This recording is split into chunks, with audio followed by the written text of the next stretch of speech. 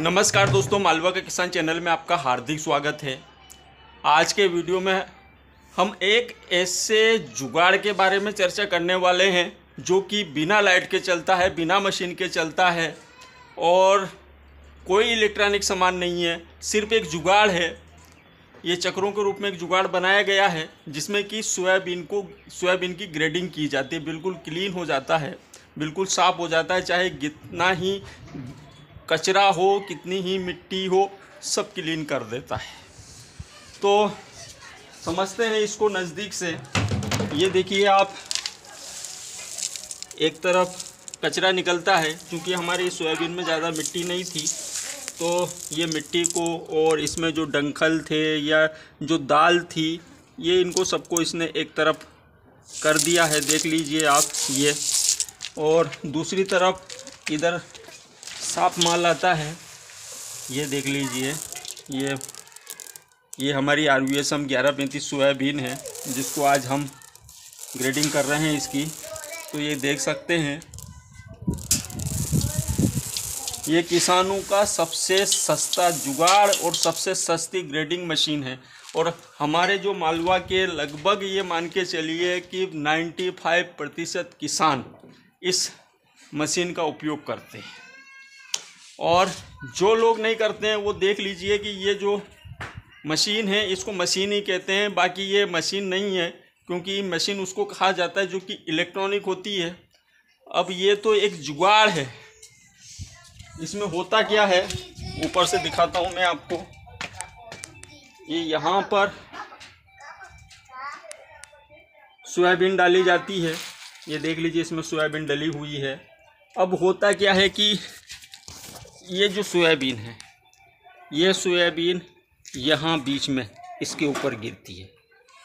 यहाँ देखिए ये तीखा तीखा है, इसके ऊपर गिरती है और इसके ऊपर गिरने के बाद जो हल्का माल होता है वो एक साइड हो जाता है और भारी माल होता है वो एक साइड हो जाता है।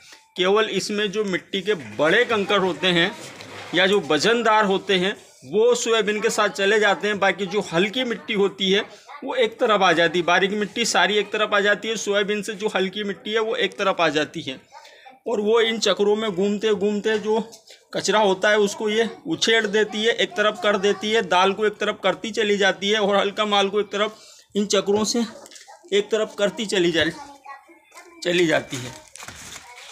और ये देखिए, कुछ माल यहाँ से अलग होगा। कुछ माल फिर यहाँ बीच में से अलग होगा और फिर कुछ माल यहाँ से अलग होगा, कुछ यहाँ से अलग होगा और कुछ यहाँ से अलग होगा और इस प्रकार से आखिर में, फाइनल में कचरा एक तरफ़ होगा और ये क्लीन माल एक तरफ़ होगा। अब मैं आपको चालू करके दिखाता हूँ इसको। कुछ नहीं है, बिल्कुल।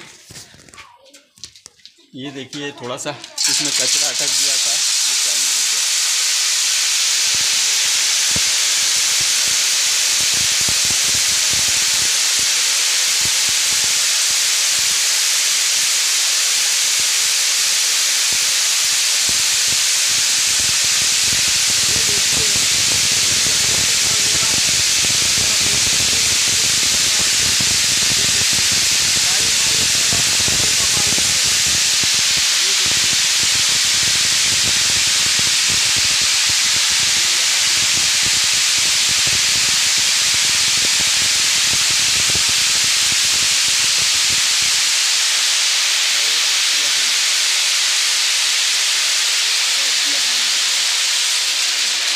ये इस प्रकार से ये इसकी प्रोसेस होती है और इस प्रोसेस से होता हुआ ये माल नीचे की तरफ़ आता है।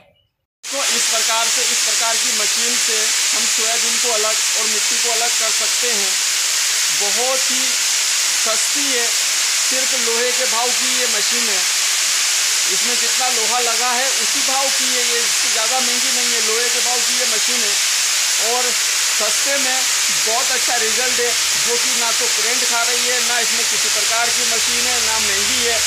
बहुत बेहतरीन इसका रिज़ल्ट है। और इसके अलावा केवल सोयाबीन ही नहीं इसमें हम चनों को भी कर सकते हैं। और अगर चनों में कचरा है तो उसको भी चनों को कर सकते हैं, गेहूँ को भी कर सकते हैं, और चीज़ों को भी कर सकते हैं, जिसमें वज़न है, उन चीज़ों को भी हम इसमें, उनकी भी ग्रेडिंग कर सकते हैं।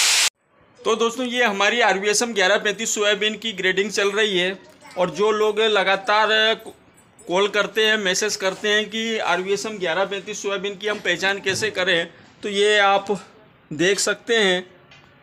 इसकी ये नाभि देख सकते हैं, इसका रंग देख सकते हैं। आर वी एस एम ग्यारह पैंतीस जो सोयाबीन है, ये हल्का मटमेला रंग लिए होती है। बिल्कुल ये चमकदार पीली रंग की नहीं होती है। हल्का मटमेला रंग ये लिए हुए होती है और इसकी नाभि काली होती है।